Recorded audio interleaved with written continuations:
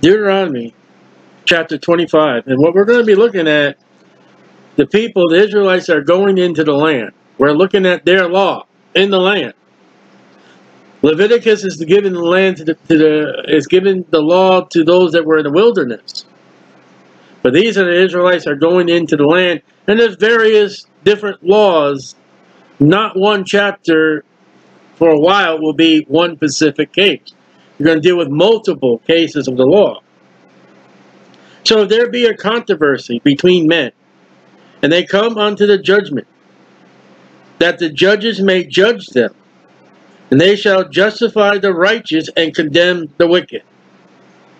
A lot of judgments in America, the wicked are justified, and the righteous are put to condemn condemnation. So that's wrong. And it shall be if the wicked man be worthy to be beaten. All right, so one of the penalties of the law was to be beaten, and this it was in the early parts of America, in England will be a public beating, that the judge shall cause him to lie down and to be beaten before his face, the judge's face,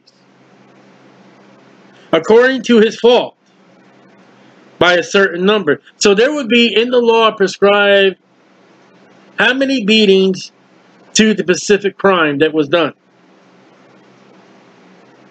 40 stripes he may give him and not exceed. So there's no more, oh, there's no 41 stripes laid upon him. 40 is the maximum. If he should exceed and beat him above these with many stripes, then thy brother shall seem vile unto thee. So if you just keep beating him and beating him and beating him, he's going to be looking like it's going to be, you're going to feel sorry for him. Oh, look at all that, what's done for him. Now, Isaiah 52, verse 14.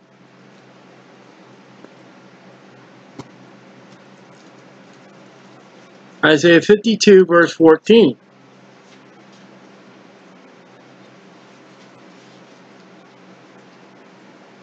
Let's see what happened with Jesus. Now, the law says over 40 stripes, no. 41 to infinity, no. You're going to beat him so that he is so vile, so torn, he cannot live. All right? Isaiah 52, 14. As many were astonished at thee, his visage, this is Jehovah's servant. Verse 13, Behold, my servant shall deal prudently. He shall be exalted and extolled and be very high. That's Jesus. As many were astonished at thee, his visage was so marred more than any man, and is formed more than the sons of man. So he sprinkled many nations. That's Jesus. They went above and beyond the 40 stripes. They violated the law. And then he had his time with the Roman soldiers were, were not panty weeks. They were brute, strong men.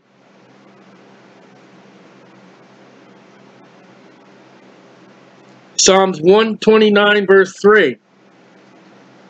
I think these are interesting verses to look at. Psalms 129 verse 3. So, in the life of Jesus, they broke the law. They brought to him a woman caught in adultery, but they didn't bring the man.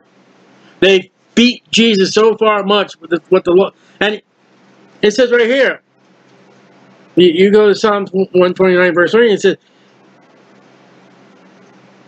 And it shall be if the wicked man be worthy to be beaten. Now tell me why Jesus Christ was was worthy to be beaten.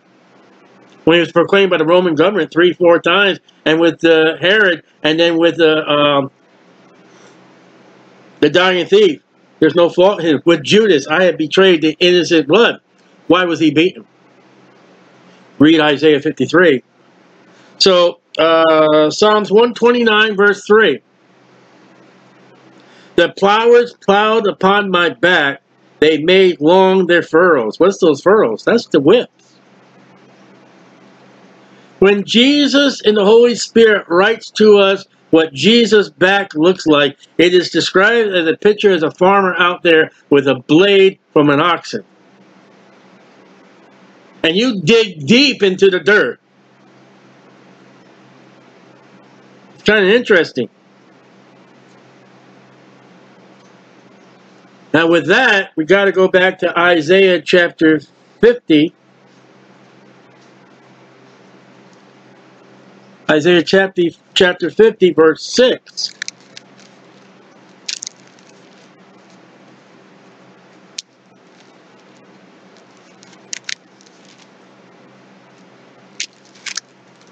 My page stuck. Isaiah 50, verse 6. I gave my back to the smiters, and my cheeks to them that plucked off my off the hair. I hid not my face from shame and spitting. That's the Lord Jesus Christ. So what's the law say over here? And we're not done. Well, let me read to you. It says, And it shall be, if the wicked man, Jesus was never wicked, he's sinless, be worthy to be beaten, that the judge shall cause him to lie down. And what we just read in Isaiah 50, Jesus lied down and gave his back to here. Go at it. And we're here, let's go to Isaiah 53. The suffering servant.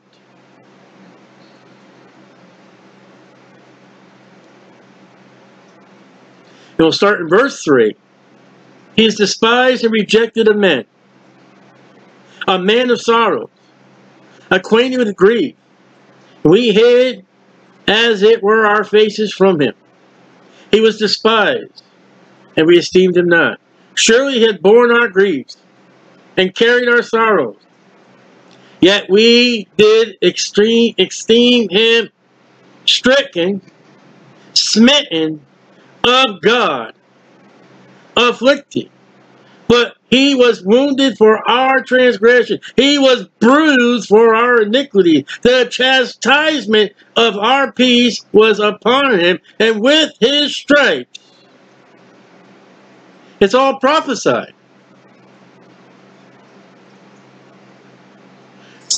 The idea you get is when they took Jesus and whipped him by describing as a farmer going out in the fields, they just went at it.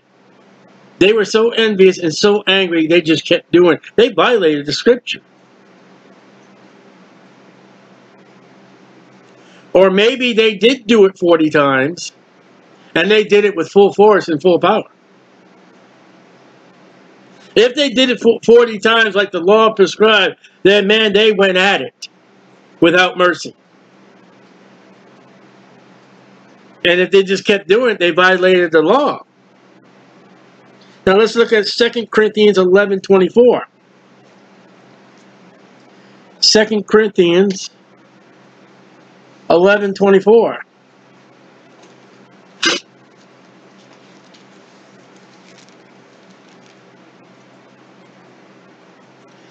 And let's look at the Apostle Paul. We'll start in verse 23. This is Paul. Are they ministers of Christ? I speak as a fool. I am more. In labors more abundant. In stripes above measure. What are you talking about, Paul? In prison more frequently. In deaths off. Of the Jews, five times received 40 stripes, save one. 195 stripes he took in the period of his lifetime. Five different times. Four times they gave him 40, and then one time they, they gave him 39.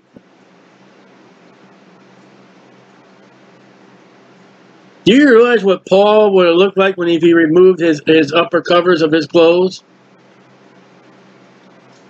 When the Bible, when we go back over here, Deuteronomy says, you're not to be him so much that he be vile to you. I bet you Paul is thankful he's going to get a new body in heaven. He's not going to carry those bruises of the word of God. Now, We know the handprints are there. We know the hole in the side is there. We know that the hole in the feet are there, and there's possibility that, that those thorns that made the marks on his crown, on his head are going to be there. What do you think those stripes are going to be? I think they're going to be there too. Think you're going to see his back all bruised up. All you ever see somebody who, who's had major scar tissue work on them? from an injury and accident they've had in their lifetime, you can't but help notice. There's some people, I mean, you don't want to look at them, but it's like, wow, buddy, what'd you go through? And you're trying not to look.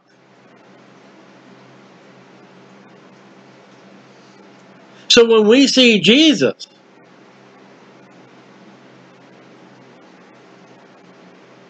and yet we're not going to remember sins. Yeah, but those holes, those wounds are still going to remember something.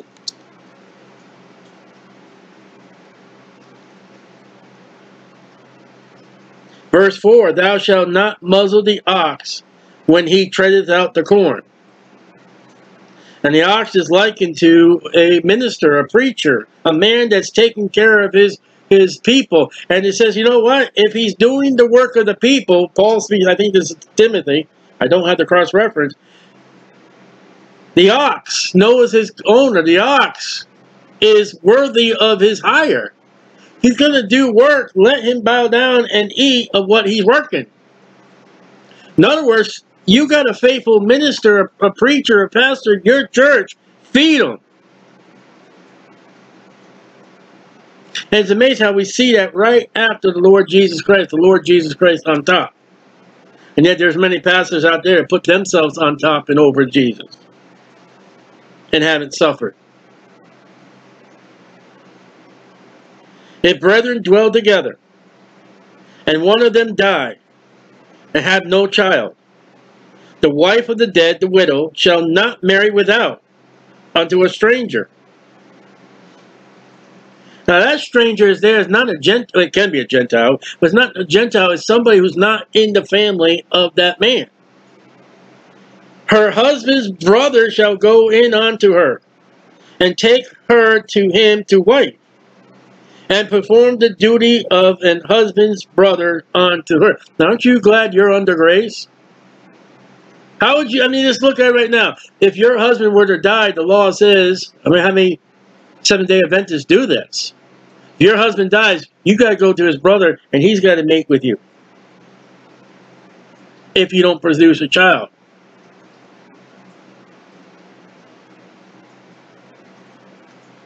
It'd be like, you know, the, the, the, the son comes home and says, Dad, I'm getting married. And the brother would be like, uh, who is she? In case you die. And the wife would be, well, what's your family like? What's your brother like? In case you die. That's serious business. Marriage is serious in the Bible. And it shall be that the firstborn, which she beareth, shall succeed in the name of his brother, which is dead, that his name be not put out of Israel. It's all the name. And if the man like not to take his brother's wife, then let him then let his brother's wife go up to the gate unto the elders and say, My husband's brother refuses to raise up unto his brother a name in Israel. He will not perform the duty of my husband's brother. He's not doing this. He's not doing what he's supposed to do. He's not obeying the law. And there's no question here, what if the guy's already married? and we won't go there, but you'll find this in Genesis 38, verse 9, Onan. That's a very serious case. And you find it Ruth chapter 4, verse 7. When Boaz talks to the nearest kinsman, he's like, I can't do this. I'll mar my inheritance. Then the elders of his city shall call him and speak unto him. And if he stand to it, yeah, that's true, and say, I like not to take her. And there's no excuse why. In Ruth chapter 4, he has another inheritance. Then shall his brother's wife come unto him in the presence of the elders, and loose his shoe from off his foot, and spit in his face, humiliation, and shall answer and say, So shall it be done unto the man that will not build up his brother's house. And his name shall be called in Israel, the house of him that has shoe loose. All right, let's go to Ruth 4 7. Let's see how well the law was kept. you think it was kept? Ruth chapter 4, verse 7.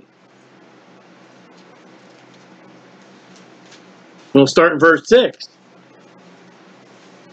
Verse 6 will bring us to where we are in Deuteronomy chapter 25. And the kinsman said, I cannot redeem it for myself, lest I mark my own inheritance. Redeem thou my right to thyself, for I cannot redeem. I can't do it. So we just read in Deuteronomy.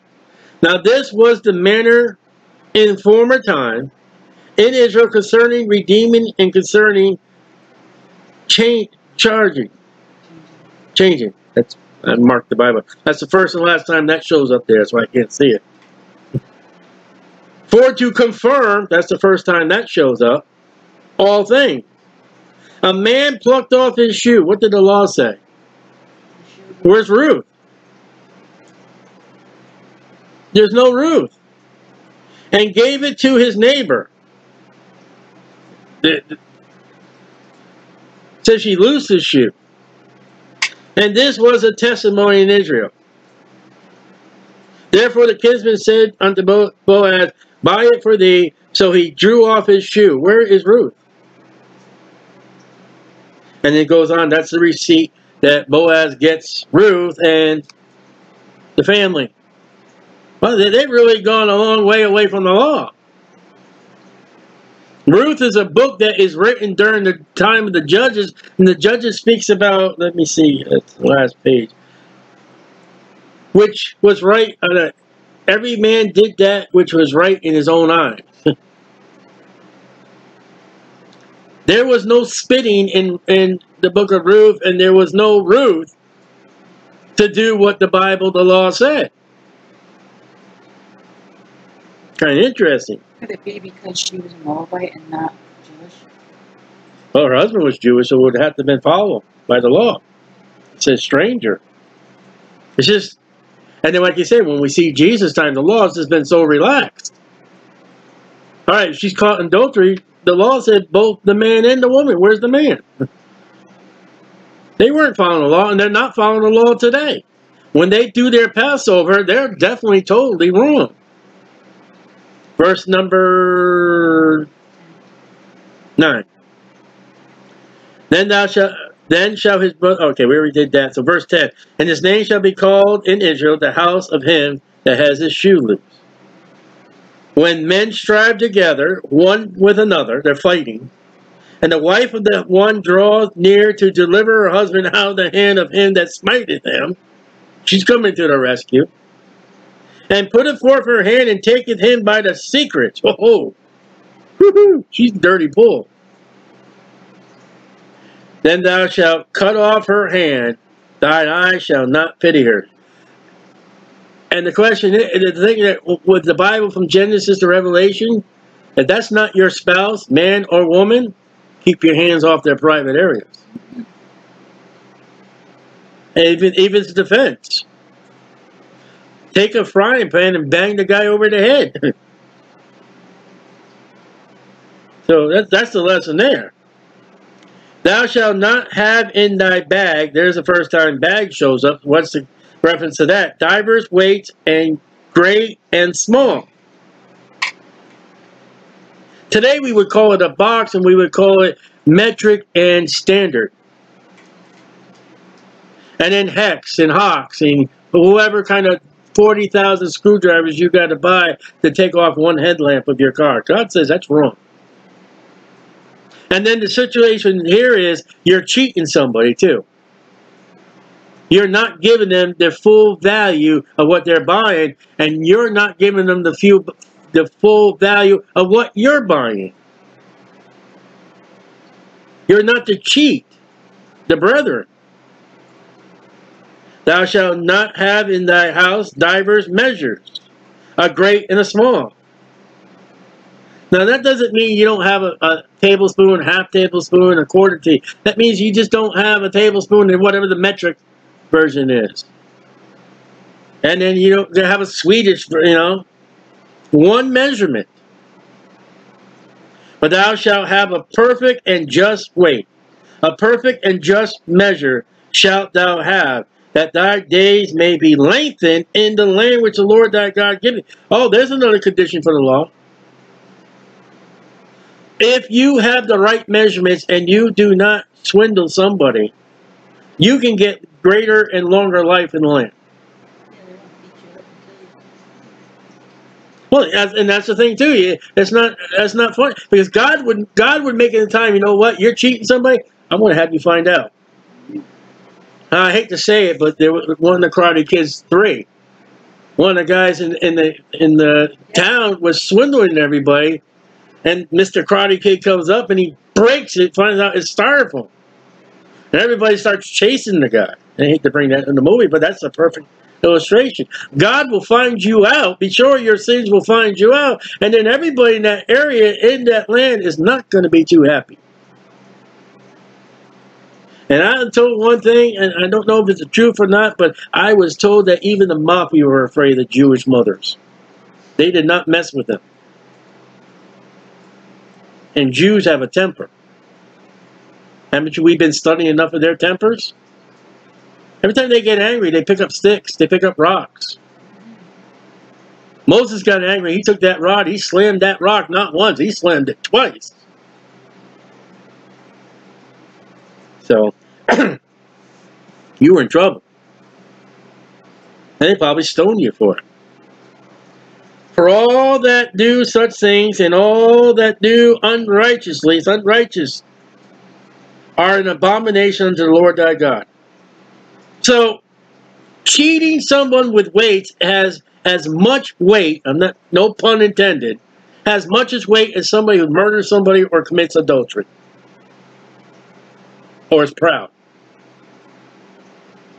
So when you go to the grocery store and you buy something that's got a tray and they don't measure that tray, God calls that an abomination.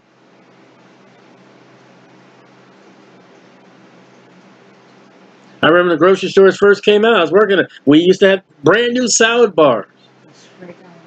And people would come in and say, well, you know what? You are charging me for the container. And then they came up with tare weight. And the law is supposedly when you buy meat at the meat department, that tray that comes with it is supposed to be pre-weighed to be taken off. If you buy a two-pound chicken, say two pounds, number, that two pounds is not supposed to include that that tray. That's called tare weight. And if you take that chicken home, and that chicken is not two pounds, and you find out that that weight of that tray is included, that's against the law. If you go to a gas pump, you'll see a state sticker on there. And it'll have some kind of, you know, measurement diagrams like that. There to make sure that that gasoline, you get one gallon for one gallon, which they don't do often. You get shortchanged a gallon on a gas pump. You have the right to call the, your state representative. Uh, I forget what they, it's something balances and stuff like that, according to the Bible. And you can complain saying, this gas station, I did not get a gallon. And here's, here's the receipt and here's my bucket. It's an abomination. You don't hear that preached out of pulpit today. You know what the safe thing was in the old time when there were monarchs in Europe? would be called a baker's dozen. You would make one extra bread, uh, muffin, muffin, cookie. Uh, cupcake, cookie, something, just in case one of those other ones didn't have the right size. Because a king would chop your head off if he didn't get the right amount of cookie. It's a serious business. It comes out of the Bible. So you're, when you're giving somebody something, give them a little extra. But that's not American business today. Remember what Amalek did unto thee, by the way, when ye come out of the when ye come forth out of Egypt. That is Exodus 17, 8. How he met thee by the way, and smote the hindermost of thee, even all that were feeble behind thee. So when Israel's marching out of Egypt, the old, the, the, the, the brittle are in the back of the row. And Amalek took, a, took an offer in that. Lions do that. Lions will sit all in the in a plain area, and they will watch that herd of water buffalo, or whatever. And how they do it, I don't know, but it's not evolution, it's God. They will watch those animals. They will all together communicate somehow, I don't know, without cell phones. And they will mark the feeble animal of that The clan, brand, herd, youngest one, Or oldest, sickest. And they will all attack that one. And the lions are likened to the devil in the Bible, and the Amalek is likened to Satan taking out the weaker ones. And the greatest illustration you see that is with the Jehovah Witnesses finding a young Christian and snagging them in. Because people get people saved today and they don't raise them up, they don't take care of them.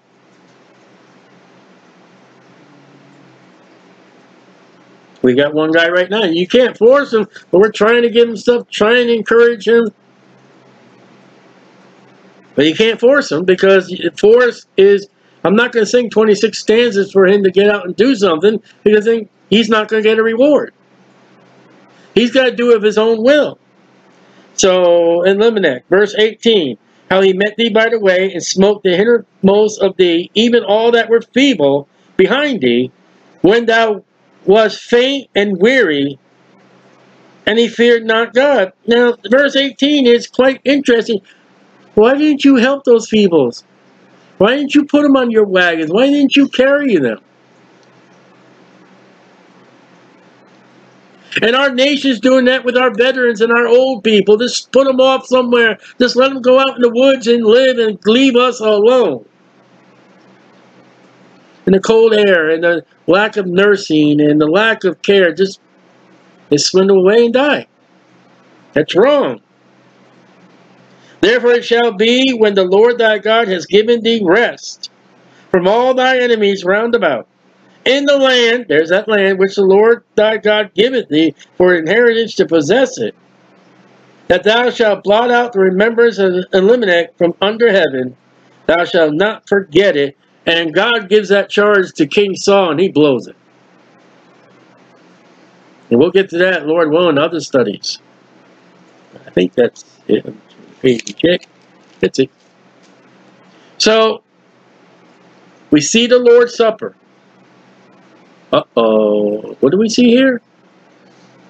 In chapter 24, verses 20, 21, 22, we see the Lord's Supper, the bread, the anointing, and the wine. And the next verses, we see Christ being beaten, being whipped. Isn't that an interesting order? That just happened by chance. And you and my family that's here in this video, when somebody stupidly comes up, the Bible's written by man, you gotta say, wait a minute, come on. Not what we learned tonight. There is the Lord's Supper, and right after the Lord's Supper, the beating. No garden. No garden. It's not in this part. But the supper and then the beating before the Sanhedrin. There it is. Now, what else are you going to do with that? That cannot be. And this would be like 1,480 years before anything that Jesus Christ ever sat down and ate with the disciples. Isn't that interesting? The Bible's great.